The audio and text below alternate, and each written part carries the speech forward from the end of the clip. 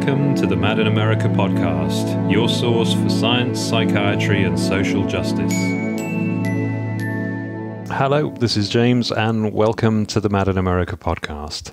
And this week we are sharing a special interview in advance of World Benzodiazepine Awareness Day, July 11th, 2020. And the reason we're sharing this interview early is to help draw attention to a special screening of the film Medicating Normal, which will be shown on World Benzodiazepine Awareness Day. And following this special screening, there will be an online panel discussion featuring people with lived experience of taking and coming off benzodiazepines. If you haven't yet seen the film, this screening is not to be missed. The film is presented by the Benzodiazepine Information Coalition, a non profit organisation that strives to educate about the potential adverse effects of benzodiazepines taken as prescribed, and also the Periscope Foundation, which is a non profit organisation that funded the making and continues the outreach of Medicating Normal. The film will be shown at 1 pm EST on July 11th, and to find out more about this special screening, you can visit the WBAD website, which is w-bad.org. So, on to our interview, and I'm delighted to get the chance to chat with Angela Peacock, who appears in the film and will be a panel member for the panel discussion. Angie served in the US Army from 1998 to 2004 and was medically retired after one tour in Iraq. She was medicated for post traumatic stress since that time, going on and off benzodiazepines several times under a doctor's care until coming off for the final time in January 2016. She holds a Bachelor's of Science in Psychology and graduated in May 2019 from Washington University in St. Louis Brown School of Social Work with a Master's in Social Work. As a 2019 Veterans of Foreign Wars Student Veterans of America Legislative Policy Fellow, she is advocating for change in benzo policy at the Department of Veterans Affairs. She is embarking on a community outreach effort to improve medication and health literacy among military veterans and their family members. Angie chats about her experiences of being prescribed benzodiazepines, her journey off multiple medications, her continuing work in veterans advocacy, and her thoughts about the film Medicating Normal. Angie, welcome. Thank you so much for taking the time to chat with me for the Mad in America podcast. And um, we're going to go on to talk a bit about the film Medicating Normal, which you're part of and which will be shown on World Benzodiazepine Awareness Day. But before we get to that, I'd like to ask a bit about you, if that's okay. So, can you tell us a little bit about you and your background and how it was you came to be prescribed benzodiazepines in the first place? Well, um, my story starts when I was in the U.S. Army for about seven years, and I did one tour in Iraq, and I got extremely sick while I was in Iraq. Um, I went from 140 pounds to 100 pounds, and you could see all my bones and I had like fainting spells and low grade fevers and fast heart rate. Just something was happening. But I continued to work like that. I was doing like two to three convoys a week. Um, so then you had to worry about like getting killed by enemy fire, and just that combination of dying, feeling like I was dying from some physical disease and the stress of you know combat at the beginning of the war in Iraq. Um, I, I, was medically evacuated out of Iraq to back to Germany, and then the day after I got home, um, our convoy got hit. So then there was more trauma with my soldier coming back. There was trauma, you know, from um, riding on an airplane with a lot of really sick and injured people. I saw lots of mangled things, you know. So uh, after my soldier told me the story, I walked down the hallway. I just knew that I needed help. Like it was the capacity for me to be able to cope with what I had just witnessed and dealt with was just overwhelming. And I just could not contain it. I don't know how else to explain it. So I walked down this uh, hallway and I saw the sign for psychiatry. And I walked in the office and I said, I need help. And that led to my very first prescription of a benzodiazepine. The name of it was clonazepam at the time, Klonopin or clonazepam.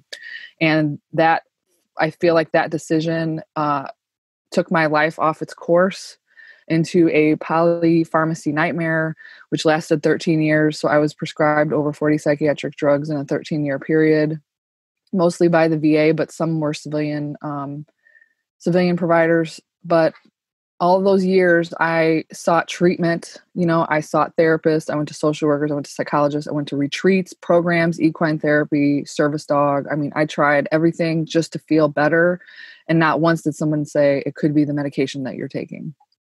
And when you were first prescribed to, were you told much about adverse effects or risk of dependence? And if not, did that lead you to want to make sure that others weren't treated the same way?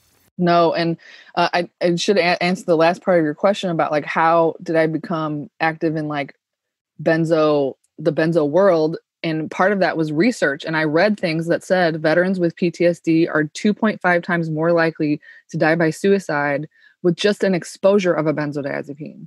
So i should not have been exposed to them in the first place which you know but years later you you read all this stuff and you find out. So no my first appointment that was never discussed. There was no it was literally like a 10 minute thing where i just said i'm not i'm not i'm ha- i remember the exact words i used is i'm having a hard time readjusting to germany which i should have been. That's normal. Like you just came out of a war zone.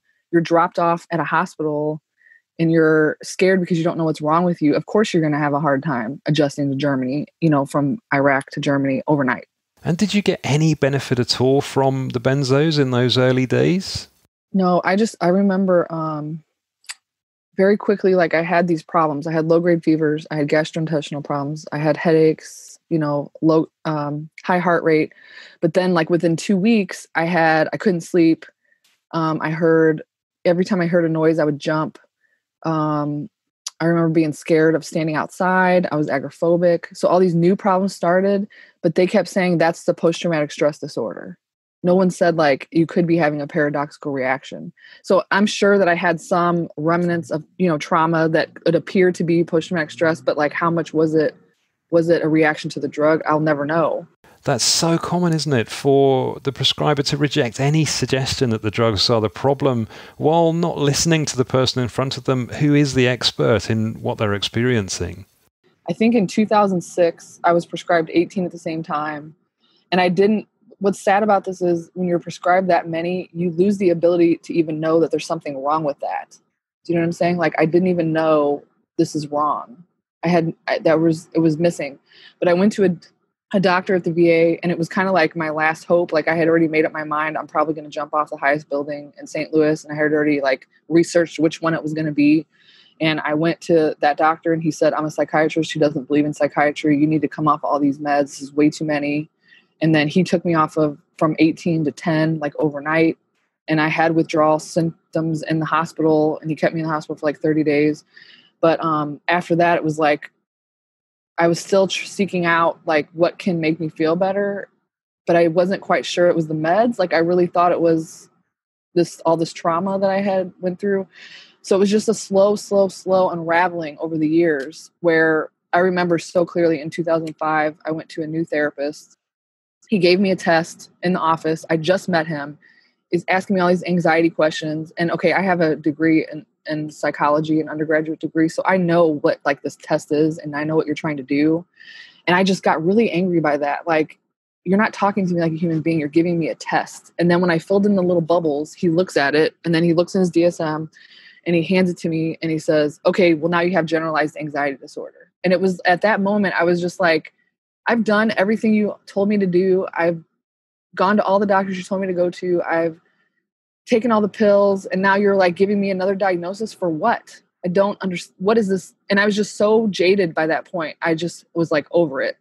And that was when maybe a month later i started getting extremely suicidal again during my taper but i didn't know about the ashton manual. I didn't know about the groups. I was just tapering. The benzo It was my last drug to get off under doctor's supervision and um, i became extremely suicidal. And not once did they say this is from your taper so I went into the hospital, and it was when they greeted me with a wheelchair, a plastic wheelchair, and two police officers.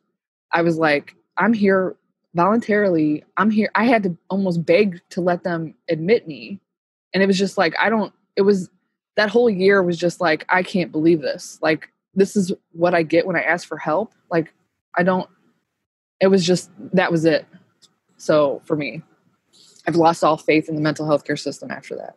So, Angie, how did you approach getting off all those drugs? And was there a key moment when you realized that you had to get off to reclaim your life? Well, so over those years, I tapered everything off. I saved a benzo for last. When I came off the benzo, it was extremely like horrific withdrawal that I would not wish on my worst enemy. That was way worse than any other drug I ever came off of, and last and still I still have effects four and a half years later. But um, so those first two years was like I barely left my house. I, I tried to stay in school and took like as minimum amount of classes as I could just to keep me in reality because I felt like I was in extreme states like constantly. But um, those first two years were the hardest. And then it was like I, I want to want to get outside and I want to talk to other people and I want to re-engage with life again. But then I it's almost like a reawakening that I don't even know who I am anymore. Who now that all the chemicals are erased, but I have these lasting neurological deficits. Like, what do I like? What what do I want to do with my life? Um, who am I outside of psychiatry? Because I mean, I was told for years I would never finish school, I would never have children, I would be on meds for the rest of my life. There's all these messages, subtle or explicit, that I took, I internalized. And so now at like four and a half years off, it's still like I feel like I lack confidence, like I'm not, I still can't work.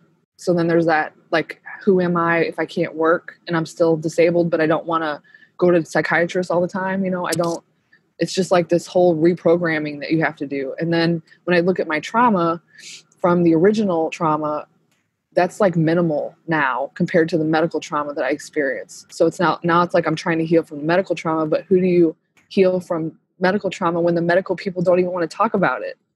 So my the only healing that I found is through advocacy, through medicating normal, through benzodiazepine information coalition, through anything I can do to raise awareness about this problem, to help other people. That's where my healing has come from. Angie, I think you've done so incredibly well to get your life back after that experience. And to go on to help and support others just shows your courage and determination. You're a board member, I believe, of the Benzodiazepine Information Coalition, and you've lobbied for changes to the policies that guide how the Department of Veterans use benzos. So, can you talk us through what you'd like to change in benzo prescribing? I, I think in the year 2019, they gave out 8 million prescriptions, 30 day prescriptions, which is to me astronomical. And we don't know if that's 30 days and that's it for like a novel prescription or if that's a continuation of someone that's given 30 day prescriptions for years. Um, the way that they track benzodiazepine prescriptions is minimal at best. Um, but they also have, I found an interesting inspector general report while I was doing this research that showed a veteran who'd been on it for like 20 years and then his doctor decided he shouldn't be taking anymore. And they showed a chart that as he tapered, his suicide attempts went up. And he ultimately died by suicide, and it was directly tied to the, the way that they, he was deprescribed. And the suggestion or recommendation from the inspector general was veterans that are on long term benzos should be left alone. Like, which is hard for me to even you know say that these drugs are so harmful but when you take them away that can also be equally harmful especially when you take them away abruptly so um, i think it, the va needs a complete overhaul with the way that doctors are taught about deprescribing with how they're taught about prescribing them in the first place, with them knowing the evidence that it puts us at greater risk of suicide, greater risk of dementia, greater risk of falls, so many other effects, you know, um, especially among my generation of Iraq and Afghanistan vets who have traumatic brain injury, post traumatic stress disorder, we have exposure to burn pits. There's just so many things coming together that adding a benzodiazepine to the mix is just not good for any of us. So we need pharmacy to be aware. We need tapering schedules that are patient centered, um, education about withdrawal symptoms, support for withdrawal. I mean, there was support that I could have used that I couldn't get. No one believed me what I was going through. I had doctors tell me that I had MS, that I had a microscopic brain injury, that none of this was really happening. You know, the gaslighting that and the trauma from that. But um, I, the VA needs a complete overhaul with benzos. And I think they they made an attempt to try. There is web pages that show they are trying in the tapering. It looks like they took a little bit from Malcolm Lader and a little bit from Heather Ashton, but then they like shortened it in half. So the evidence that they're using, I don't know who's coming up with this guidance, but it's not evidence based, which they claim to want to use evidence based medicine. So um, I don't know. It's it's it's disheartening to me because every time I hear a suicide in the veterans community, I want to know what was he taking, you know, or what was she taking? What is going on? Yeah, yeah, absolutely. And and I also read that you kind of support and advocate for um, veterans, and, and you mentioned you, you have a master's in, in social work. So you know, what kind of help and support do you provide to people? And know myself that the best advice I've ever got is from people that have been there. You know, never from a prescriber who only has a in theory understanding of of what's happening for people. Yeah, well, when while I was going through this, I went back to school to try to in my head, I thought, I want to work in the system to help change the system from inside. But while I was, and, and it's probably because I'm so close to this happening to me that um, I found school very traumatizing. Like the way that they talk about patients, the way they talk about people with mental health problems. Uh, and I would sit there always and be like, "You're talking about me." Like the way that you are talking, it's like it's like when your parents are talking about you and you're in the other room and you overhear them that was the feeling I constantly had. And any pushback that I ever gave, even saying simple things like antidepressants cause withdrawal, it was always like, no, we don't need to talk about that right now. So it's like the whole system is complicit, and I don't want anything to do with that. Um, and I did a year and a half, well, almost like like 14 months. I did 14 months of um, ther- giving therapy to people without diagnosing them, without referring them to psychiatry, without calling people when they were suicidal. And I enjoyed that, but I thought I need to reach more than just one person at a time. So for now, I do what I can. I, I'm involved in several nonprofits with the veteran world. So sometimes they'll call me and say, like, well, what do you think about this? You know, I did a fellowship with veterans of foreign wars and talked about the prescribing and deprescribing of benzodiazepines at the VA level. Um, I help with peer support group with Wounded Warrior Project. I just I talk to lots of veterans. I run a group uh, for St. Louis veterans. I don't know. I just do what I can where I can. Mm-hmm. Yeah, absolutely. It's so important, isn't it? Because veterans are so vulnerable when when suffering from you know stress and trauma. So vulnerable to being prescribed to and, and misadvised and ill-advised that kind of brings me nicely onto the film medicating normal which you know I, I, watched and the first thing to say is you know it's immensely powerful. You know it really made me very angry watching it because you know the, the way that we treat people and the way that it's explained that we take someone's grief or trauma and we turn that into a medical illness and we label them and the label only leads in one direction and that's drugs and more drugs. And you know it, it was an incredibly powerful watch. But you know I, I wondered angie how you how you came to be involved in that film I didn't find the support groups, the online community until I was four months of off of everything. And I guess there was an ad or something. They ran an ad and I saw the ad and I was like, I'm not doing that, you know? and then someone, I guess one of the producers told me that they had asked someone on Facebook, you know, we really like your story. Would you tell it to us? And the, the lady said, no, but you should talk to Angie Peacock. She's a warrior or something. So basically the producer messaged me and I she said we were doing a film. Would you like to be in the film? I was like no. And then she said well can I call you? And so she called me and I told her like this much of my story. And then she said well I want to and I said no again. And she said well I want to fly out there and talk to you in person. Do you mind if I fly out? And I was like okay but I'm not doing it you know? So she flies out. I said I tell her again I don't want to do it. But then by the end of the conversation we had taken a walk and I told her a little bit more of my story and then she basically said like you have to do this. You I mean, you're you could speak to the veteran angle and I was in documentaries before this so there was like this other footage out there of when I was really ill and taking a lot of meds. So in a roundabout kind of way when she left the car and I closed the door, I thought to myself, well, now I can't kill myself because there's this film and like if I'm going to be a part of it, like you don't want them to say like you died at the end, you know. So in this roundabout way, it kind of saved my life because they they would come back every few months to see progress. You know, I'm I'm really grateful that I'm a part of it. I really am. Mm. Yeah, well, you know, I, I am too. You know, the the I think as I mentioned to you, I was so pleased to see lived personal experience really front and center in that film because yeah, the expert views are great, but it's the people that have been through this that are the biggest source of you know the caution that we we should all have about how freely we're prescribing these drugs. And you know, I was really struck, Angie, to you know, I hope you don't mind me saying, you know, you you kind of you relived the the trauma of losing a comrade and you know in, in in you know in your troop and on the film you kind of see you experience that and you know you think was this kind of muted and blunted by the drugs for so many years, and you still had to go through that process of grieving, and it, and it's kind of captured in the documentary. It really, I really felt for you. I really did. Oh, thank you so much. Yeah, it was definitely like uh, I feel I felt really robbed that I could have grieved a lot of this trauma earlier, and that even I did all those all the therapy that I did when you're on medications, I don't think you fully get to really repair like repair those things or like you can't fully I don't even know how to explain it. You just can't you can't fully feel what happened to you and you can't integrate it. So now that I'm off, it's like there's a systematic way that I have to go through things to like repair those feelings that I should have had 15 years ago, but I'm just now getting to do that. So in a way I feel robbed of my own healing process. Yeah, I understand.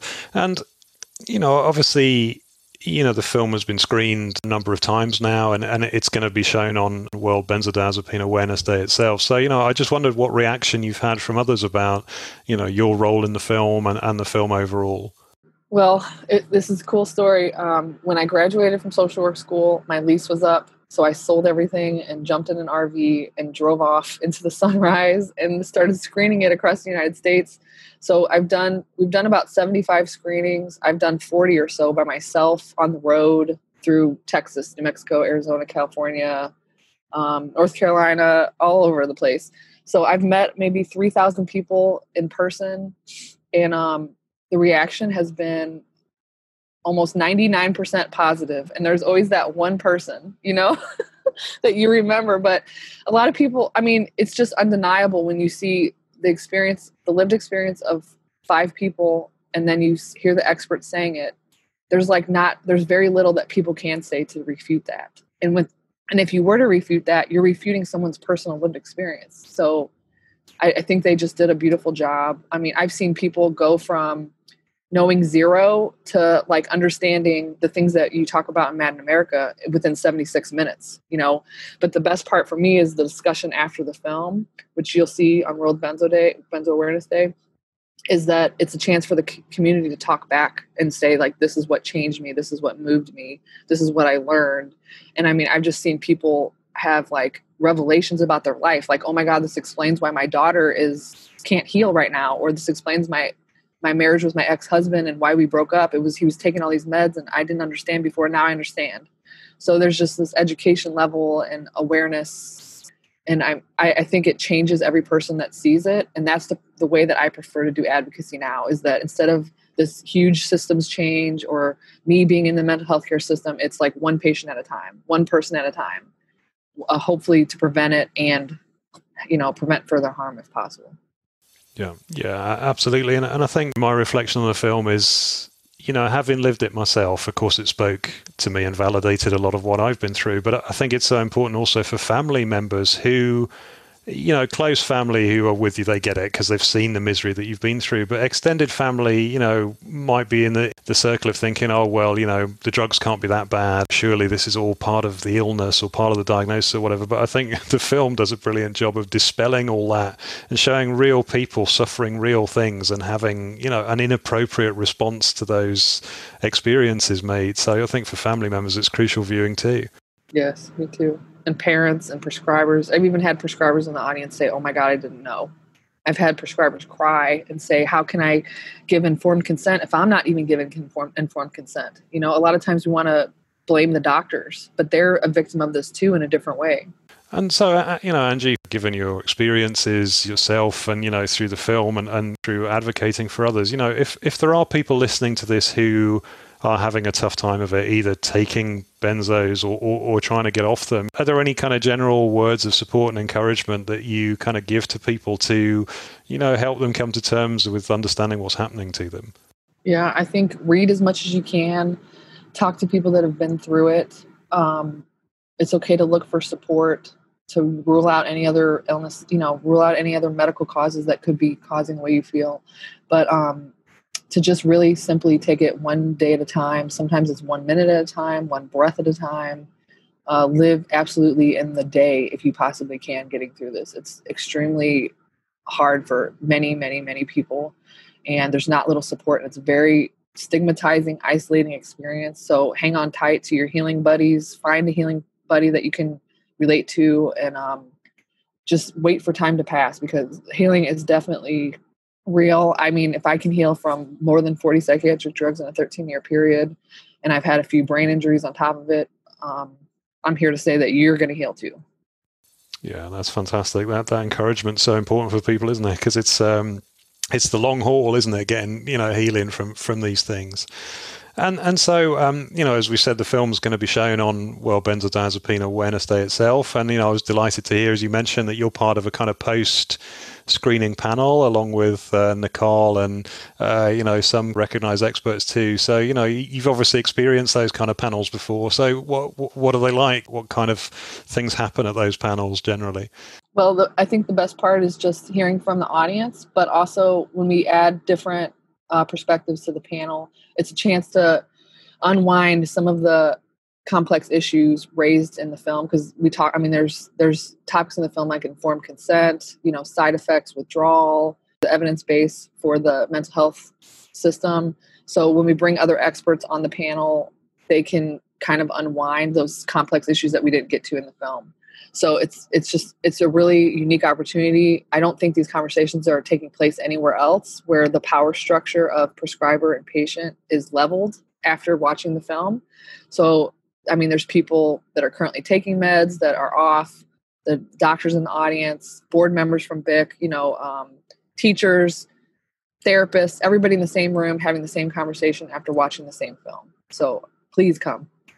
Yeah, absolutely. Well, you know, I, I, can genuinely say that, you know, if, if I'd have had a chance to see that film and experience it around the time that I was first prescribed to, I, would be in a very different place in my life now. And, you know, I, I thank you and all the people involved in the film because it's crucial watching for, for people to validate their own experiences, for prescribers to think, whoa, hang on, I didn't realize, you know, all, all this was going on. And for your work with VA policy uh, as well, in terms of what's the first line of response to somebody coming in and saying, I'm having a, a difficult time with trauma and, and all these other things. So, you know, I think the, the film speaks really powerfully about that. Yeah. Thank you so much. Yeah, we, we it's it's been great to be involved with it.